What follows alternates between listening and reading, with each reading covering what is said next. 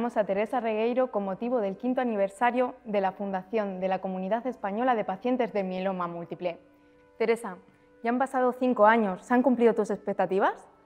Bueno, yo creo que sí. Realmente cuando comencé eh, no tenía muchas expectativas. Yo lo que quería era eh, informar a los pacientes sobre mm, el mieloma múltiple, que el paciente recibiera eh, toda la información posible sobre, sobre nuestro cáncer.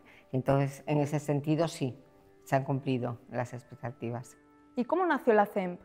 Bueno, la, la CEMP nació Mm, porque, por, este interés que tenía yo de, informar, siempre informar mucho a los pacientes, eh, tanto sobre los tratamientos como sobre la enfermedad. Em, eh, abrí una página en Facebook antes de, la asociación y comencé a tener seguidores y poco a poco, pues eh, cada vez más seguidores, más seguidores y entonces alguien me comentó, ¿y por qué no, por no haces una asociación? Que a lo mejor es necesario que haya una asociación solamente del, mieloma. Y entonces, bueno, pues fue así. Fue, no, no, planeé nada, fue todo surgiendo según lo fuimos necesitando.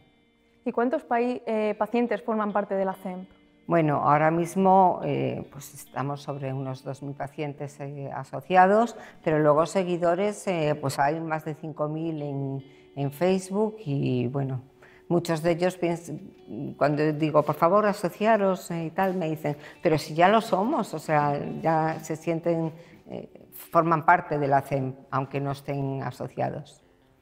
¿Cuáles son las bases en las que se asienta la asociación? Bueno, las bases, eh, como te decía al principio, es eh, sobre todo eh, informar al paciente de todo, tanto de los tratamientos como de la enfermedad, que el paciente sepa que a su alcance hay pues, unos ensayos clínicos, que aunque en, su hospital no los tengan, sí los hay en otros hospitales, que puede mm, tener acceso a los mismos, o sea, que el paciente sepa todo el abanico de posibilidades que tiene, aunque no estén a su disposición, por ejemplo, en, su hospital. Es lo más importante, que se, porque el paciente que tiene información sobre su enfermedad podrá manejarla mejor.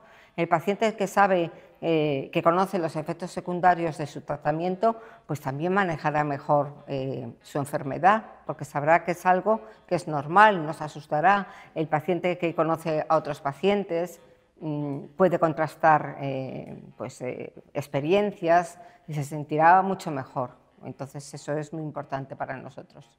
Bueno, esto va un poco ligado a la siguiente pregunta, que es que, ¿qué ofrecéis vosotros a los pacientes? Bueno, nosotros, vuelvo a decir lo mismo, ofrecemos información, pero también ofrecemos más cosas. La información eh, la hemos centrado en estos eh, cinco años en las jornadas que ofrecemos a los pacientes eh, en Madrid. Este año organizamos la quinta jornada que tenemos que realizarla online por el problema del COVID, pero eh, intentamos realizar jornadas por todo el territorio nacional, nos desplazamos y, intentamos que estén los hematólogos de cada comunidad para que los pacientes bueno, pues, se acerquen y hablen con ellos, conozcan a otros pacientes. Y después también pues en la asociación gestionamos las segundas opiniones, em, aconsejamos, ayudamos, protegemos a los pacientes para que se sientan cómodos y que siempre tengan un lugar a donde acudir.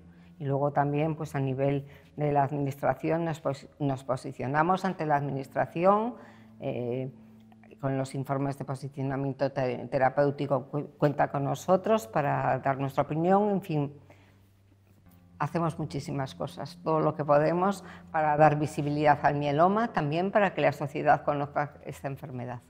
Muy bien, y así un poco entre nosotras, ¿qué opinas tú realmente del mieloma?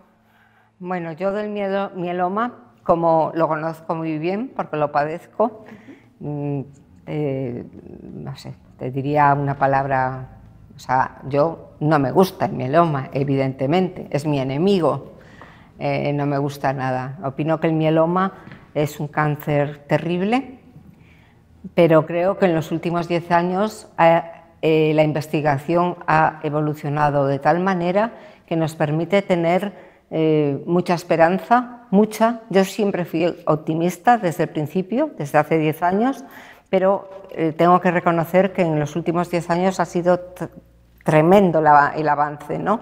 Y, además en España tenemos a los mejores, a los mejores investigadores en, nuestro cáncer, con lo cual eh, tengo que decir que espero que las cosas vayan muy bien y cada vez mejor. Es cierto también que seguimos recayendo. El mieloma se caracteriza, bueno, porque por definición es una enfermedad, es un cáncer incurable, con, con continuas recaídas, cada vez más agresivas y, bueno, que, llevan a, los pacientes, pues eh, nos llevan a, morir, ¿no? Entonces, eh, el haber conseguido además eh, que estas recaídas, poder superarlas e incluso tener nuevas remisiones completas, pues es un avance pues muy interesante y muy halagüeño para nosotros.